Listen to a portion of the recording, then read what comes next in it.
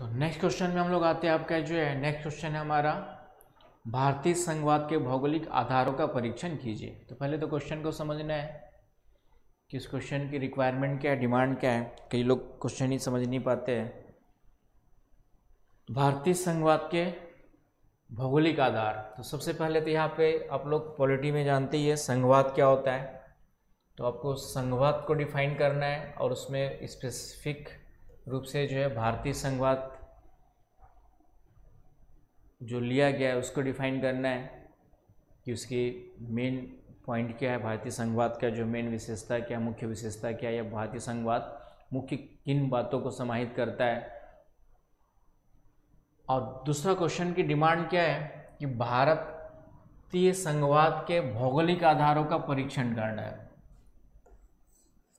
Examine the geographical basis of Indian federalism तो यहाँ पे भौगोलिक आधारों का परीक्षण का मतलब क्या हुआ इस क्वेश्चन का मतलब?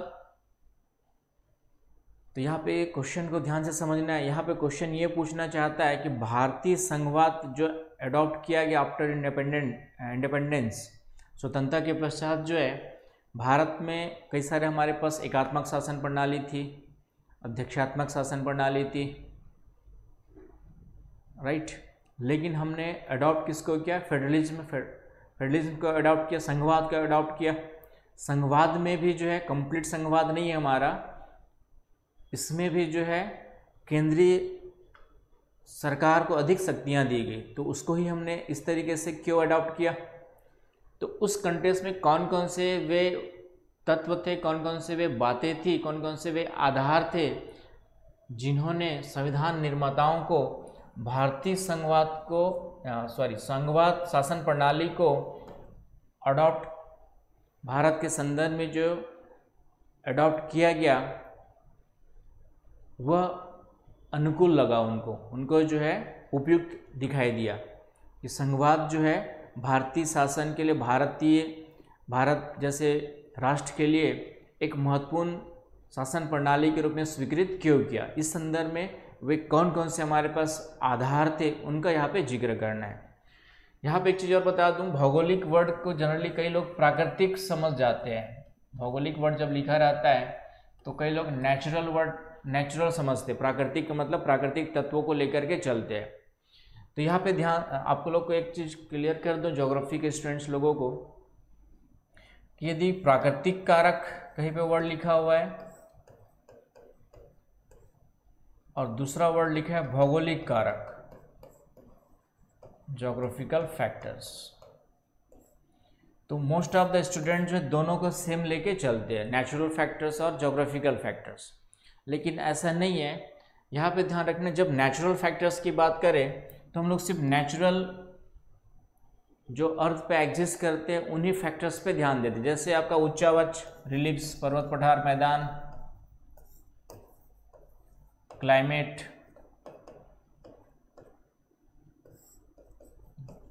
जलवायु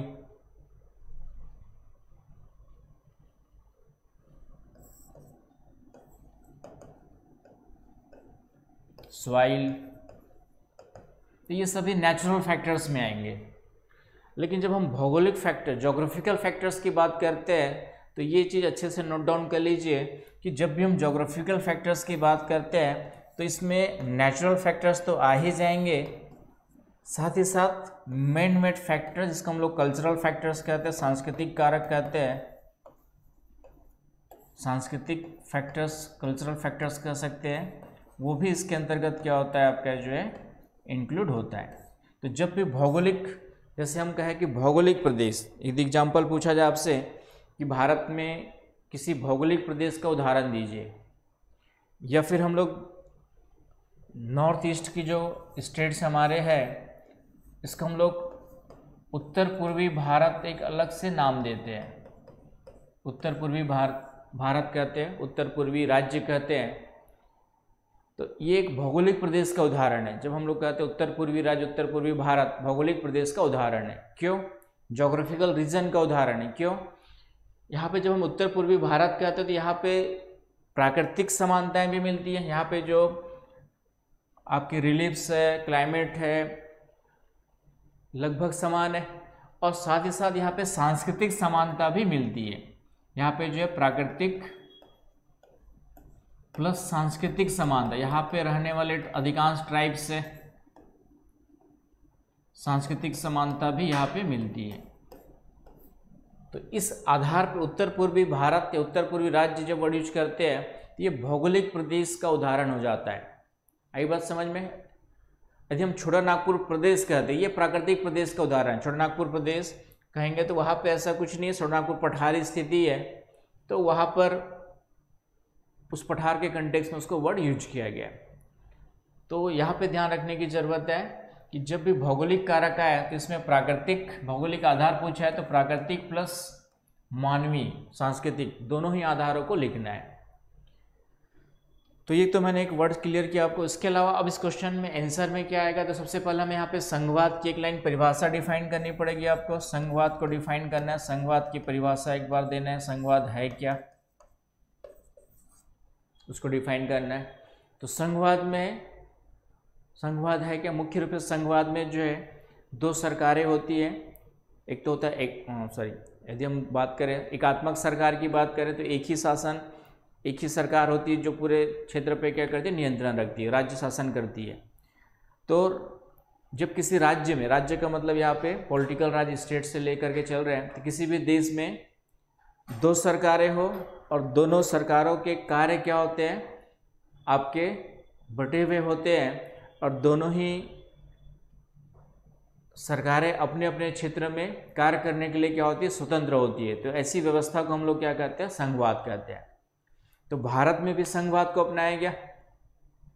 भारत में देखा जाए तो पहले मुख्य रूप से दो केंद्र सरकार, राज्य सरकार और वर्तमान में स्थानीय सरकारें भी है तो तीन स्तर देखे जा सकते हैं। लेकिन मुख्य रूप से दो स्तर स्वतंत्रता के समय, संविधान निर्माण के समय लेकर के चला गया।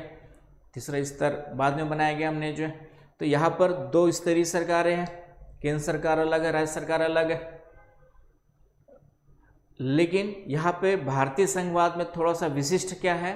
स्पेसिफिक क्या है? अदर की कंपैरिजन करें तो आपके जो है कि भारतीय जो संघ है, वह राज्यों के बीच समझौते का परिणाम नहीं है।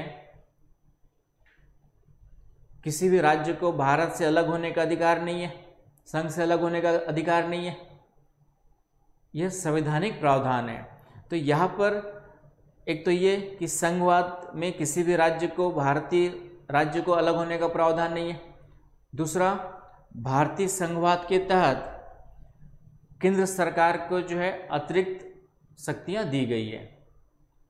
दोनों की शक्तियाँ बराबर नहीं है, जबकि अधिकांशतः संघवाद संघीय राज्यों में संघीय देशों में क्या होता है कि दो या जितने भी सरकारें उनके बीच में, दो या दो से अधिक सरकारें जो भी उनके बीच में सत्ता का समान रूप से क्या होता है आपका जो है, विकेंद्रीकरण होता है। लेकिन यहाँ पे केंद्र सरकार, राज्य सरकार, दो अलग अलग सरकारों का निर्माण किया गया। लेकिन केंद्र सरकार को अतिरिक्त शक्तियाँ दी गई राज्य सरकार की तुलना में। ऐसा इसलिए किया गया क्योंकि भारत विविधताओं से भरा देश है। कई सारे चीज़ें जो है, यदि किसी एक सत्ता को अधिक शक्तियाँ नहीं दी जाती तो भारत कई टुकड़ों में बंटने की संभावना बनी रहती सांस्कृतिक, सामाजिक विविधता मिलती है, इतनी बड़ी भौगोलिक विस्तार भौगोलिक विस्तार मिलता है, भौगोलिक विस्तार मिलता है भारत का जो है। तो इस कारण से इतने बड़े देश को जब तक कोई एक केंद्रीय शक्ति नियंत्रित नहीं करेगी, तब तक एकता में बंधे रहने की संभावना क्या होती, कहीं ना कहीं कमज़ोर हो जाती तो देश की एकता को, अखंडता को बनाए रखने के लिए नेशनल इंटीग्रेशन के लिए, राजनीतिक एकीकरण के लिए जो है, कुछ शक्तियाँ हमारे भारत में केंद्र सरकार को क्या की गई, अतिरिक्त दी गई है। तो यहाँ पे हम थोड़ा सा भारतीय संघवाद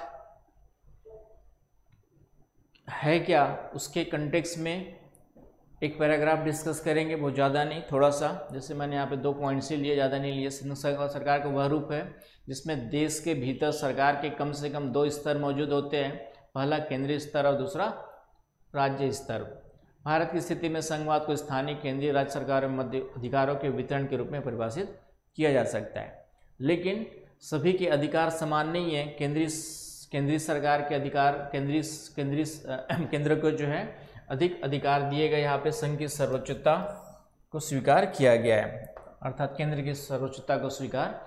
भारत की राज्य प्रणाली न तो पूर्णतः संघीय, न ही पूर्णतः एकात्मा, क्योंकि देश के संविधान में संघ और प्रांतों को जो अधिकार दिए गए यद्यपि दोनों की स्वायत्ता को दर्शाते हैं, लेकिन अंत में संघ की सर्वोच्चता मतलब केंद्र सरकार की सर्वोच्चता को जो है क्या करते हैं? स्वीकार किया गया। दूसरी बात यह है कि अन्य संघीय राज्यों की भांति, भारतीय संघ का निर्माण प्रांतीय सरकारों की पारस्परिक सहमति और समझौते पर आधारित नहीं होकर के, मैंने फिर से कहा कि संघ सरकार द्वारा ही राज्यों के क्षेत्र का नाम और निर्धारण किया जाता है। आई बस समझ में तो ये विशेषता आप लोग जानते ही हैं, सभी लोग। जो नहीं जानते पॉलिटी पढ़ेंगे तो जान जाएँगे। तो इस तरीके से एक बेसिक थोड़ा सा बता देना हमें जो है कि भारतीय संघवाद का मतलब क्या है। दूसरा फिर अब आएँगे कि भारत में इस संघवाद को ही क्यों अपनाया गया और उसमें भी संघ की सर्वोच्चता को क्यों स्वीकार किया गया। तो संघ की सर्वोच्चता को स्वीकार करने के पीछे का कारण बताया, राष्ट्रीय एकीकरण, राजनीतिक एकीकरण, कि राष्ट्र की एकता बनी रहे, देश कई टुकड़ों में विभाजित न हो जाए, इसके लिए एक सर्वोच्च सत्ता का होना ज़रूरी था, क्योंकि भारत में बहुत ज़्यादा क्या मिलती है आपकी सामाजिक, सांस्कृतिक, धार्मिक विविधता मिलती है, प्रादेशिक विविधता मिलती है। तो इतने बड़े और भारत के भौगोलिक विस्तार बहुत बड़े क्षेत्र में है। तो इस कारण से उनको एक साथ समेटने के लिए हमारे पास एक केंद्रीय सत्ता पर अधिक अधिकार होने की ज़रूरत महसूस की गई। इस कारण से इसको स्वीकार किया गया। अब इसके अलावा कौन कौन से भौगोलिक कारक थे जो आपके जो है तो कौन कौन से भौगोलिक आधार थे संघवाद को अपनाने के लिए? उनके कुछ पॉइंट्स देखेंगे तो उसमें से आपका आंसर निकल आएगा। भारतीय संघवाद के भौगोलिक आधार की बात करें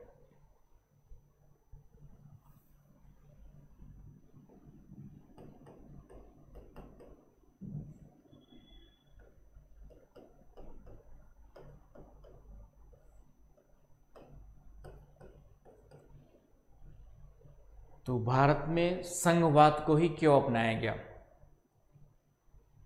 आई बात समझ में? तो उसके लिए सबसे पहला जो फैक्टर है, वृहद, भारत का वृहद भौगोलिक विस्तार।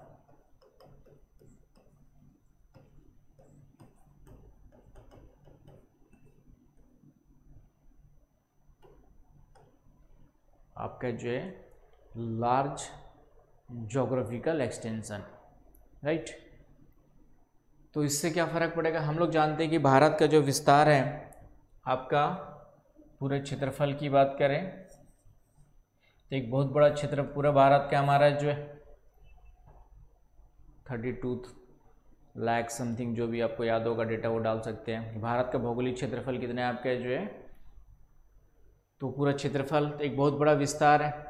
अब यहाँ पर यदि मान लेते हैं कि संघवाद की जगह हम एकात्मक सरकार ले लेते हैं, एक ही सरकार लेते हैं सपोज़ दैट यदि हम यहाँ पर संघात्मक की जगह एकात्मक सरकार ले ले तो एकात्मक सरकार जो इतने बड़े भौगोलिक क्षेत्र को कैसे नियंत्रित कर पाती? उस पर अच्छे से शासन कर पाती क्या? नहीं कर पाती। सभी क्षेत्रों के विकास के लिए समान रूप से ध्यान दे पाती क्या? नहीं दे पाती।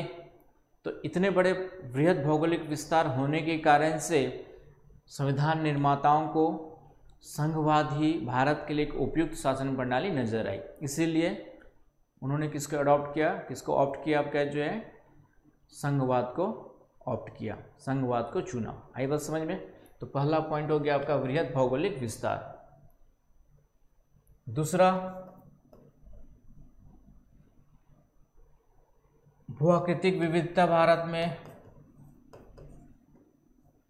प्राकृतिक आधार की बात करें तो भू आकृतिक विविधता है।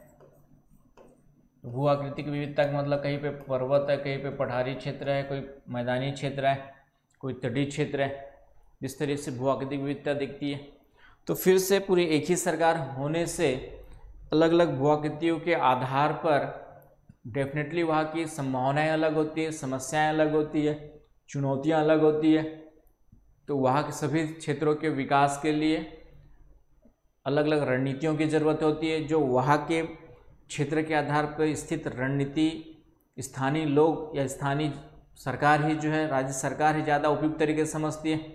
जैसे कि साउथ इंडिया की जोग्राफ़ी और नॉर्थ इंडिया की जोग्राफ़ी यदि हम उत्तराखंड की बात करें और इधर आपका तमिलनाडु की बात करें तो केंद्र सरकार दिल्ली में बैठ कर के यदि हम उत्तराखंड के विकास के लिए पॉलिसी बनाते हैं, वहाँ की समस्याओं, संभावनाओं को सोचते हैं और उसके, वहाँ के लोगों के विकास के लिए, वहाँ के लोगों के कृषि उद्योग आदि के विकास के संदर्भ में पॉलिसी बनाते हैं तो वह उतनी उपयुक्त नहीं हो सकती क्योंकि वहाँ पे भूआकृति जो है पूर्णतः डिफरेंट है मैदानी क्षेत्र की तुलना में, दक्षिणी भारत की तुलना में डिफरेंट है।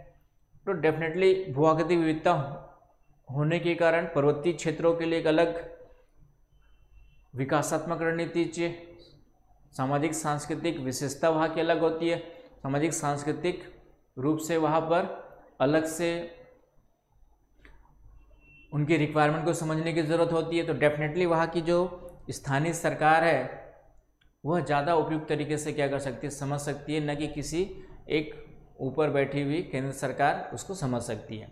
तो भौतिक विविधता, कई सारी समस्याओं को जलवायु विविधता है।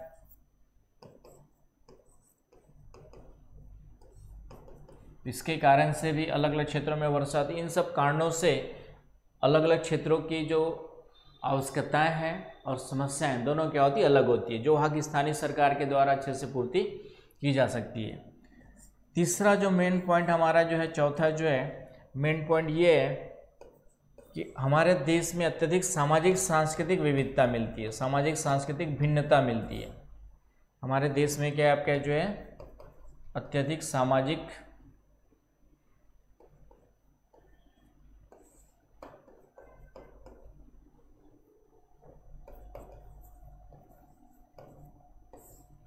सांस्कृतिक भिन्नता मिलती है। अब इसका संघवाद से क्या मतलब है? अब इतनी अधिक सामाजिक, सांस्कृतिक भिन्नता है, यदि हम किसी एक सरकार को उन सभी सामाजिक, सांस्कृतिक भिन्नता वाले लोगों के लिए रणनीति बनाने की ज़िम्मेदारी दे दे तो हो सकता है उतने अच्छे से उनकी भावनाओं को, उनकी रिक्वायरमेंट्स को एक मुख्य केंद्रीय सरकार न समझ पाए। तो सामाजिक, सांस्कृतिक विविधता को हमें यहाँ पे हमारे पास समस्या क्या थी? जब भारत स्वतंत्र हुआ तो इस विविधता को बनाए भी रखना था और साथ ही साथ एकता भी बनाए रखना था। क्योंकि जब विविधता होगी तो टकराव होने की संभावना, संघर्ष होने की संभावना बनी रहती है। तो हमारे पास चुनौती क्या थी स्वतंत्रता के समय? कि ये जो सामाजिक, सांस्कृतिक विविधता है सामाजिक, सांस्कृतिक सभी अलग अलग क्षेत्रों की अपनी पहचान है, वह भी बनी रहे और इनके बीच संघर्ष, टकराव भी ना हो, ये हमारे सामने चुनौती थी। तो इस समस्या का समाधान भी किस पे नज़र आता है? हमें संघवाद शासन प्रणाली में नज़र आता है कि अलग अलग राज्यों का जो निर्धारण किया गया तो कहीं ना कहीं राज्यों का निर्धारण में वहाँ की सामाजिक, सांस्कृतिक एकता, समानता को क्या रखा गया? ध्यान में रखा गया। जो सामाजिक, सांस्कृतिक समानता के आधार पे राज्यों के निर्माण पर ज़ोर दिया गया, ताकि वे क्या हो सके आपका जो है, एकता में बंधे रह सके और वहाँ की राज्य सरकार उसके अकॉर्डिंग अच्छे से उनके लिए क्या कर सके, कार्य कर सके। और देश की एकता को बनाए रखने के लिए केंद्र सरकार को कुछ अतिरिक्त शक्तियाँ दी गई, ताकि राष्ट्रीय एकता भी हमारी क्या हो, बनी रहे। भाषा विविधता इसी में इसी में भी डाल सकते हैं, भाषा विविधता भी, अलग से भी लिख सकते हो। तो इतनी सारी भाषाओं को बनाए रखना और साथ ही साथ राष्ट्रीय एकता को बनाए रखना, ये भी ज़रूरी था। इसके लिए भी संघवाद उपयुक्त प्रणाली थी कि अलग अलग भाषाओं के आधार पर सबसे पहला हमारा जो राज्यों का निर्माण किया गया, भाषा को एक आधार बनाया गया, ताकि भाषा, उस, उन भाषाओं की आपकी पहचान भी बनी रहे, उन भाषाओं के अस्तित्व भी बना रहे और साथ ही साथ आपका जो है राष्ट्रीय स्तर पे टकराव न हो, इसके लिए एक नेशनल लैंग्वेज की व्यवस्था भी की गई।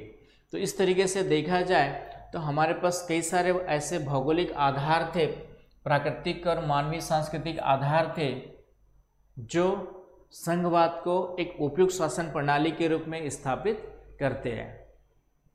और ये मुख्य रूप से भौगोलिक आधार है।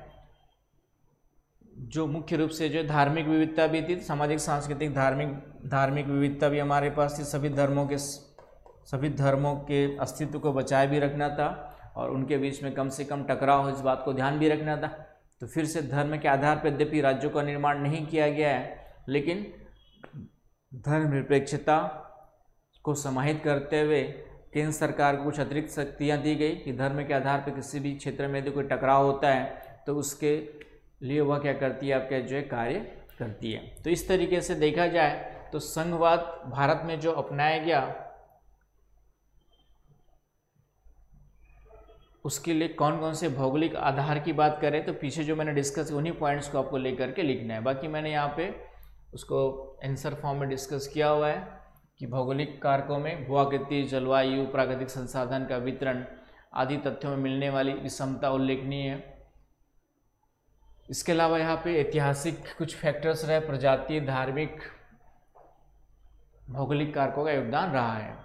पहला, हिमालय पर्वतीय क्षेत्र, दूसरा, उत्तरी हिस्सा, ये सब अलग अलग भूआकृतिक विषमता रही है, भाषाएँ भिन्नता रही है। तो इन सब के अस्तित्व को बनाए रखना और साथ ही साथ जो है सभी क्षेत्रों का विकास समान रूप से हो। मैंने फिर से कहा, इस पॉइंट, इसमें एक पॉइंट वो भी डाल सकते हैं आपके जो है। विकास विकासात्मक जो भिन्नता थी, विकास में प्रादेशिक असमानता थी, उसके कारण से भी विकास में क्या थी, प्रादेशिक असमानता कुछ क्षेत्र विषमता मिलती है, हमारे रीजनल डिस्पेरिटी मिलती है। तो इसके कारण से भी हमें राज्य सरकार ज़्यादा उपयुक्त नज़र आती है। केंद्र सरकार, राज्य सरकार दोनों का अलग अलग अपना कार्य क्षेत्र उपयुक्त नज़र आता है कि केंद्र सरकार अपने पूरे देश के लिए रणनीति बनाती है। राज्य सरकार अपने स्थानीय ज़रूरतों के आधार पर उसमें क्या करती है आपका परिवर्तन कर उसको इम्प्लीमेंट करती है और इंडिपेंडेंट रूप से कुछ रणनीतियाँ बनाती है। तो इस तरीके से ये सभी चीज़ें हैं, प्राकृतिक संसाधनों का विषम वितरण भी इसके लिए जिम्मेदार है। कुछ महत्वपूर्ण संसाधनों पर केंद्र सरकार का पूर्ण नियंत्रण होता है और उससे जो रेवेन्यू प्राप्त होती है वह सभी राज्यों में क्या करती है? वितरित करती है डिस्ट्रीब्यूट करती है। तो ये सभी चीज़ें रही है। तो इसको इस तरीके से हैंडल करना है। मैंने जो लिख दिया उसको डाउन कर सकते हैं।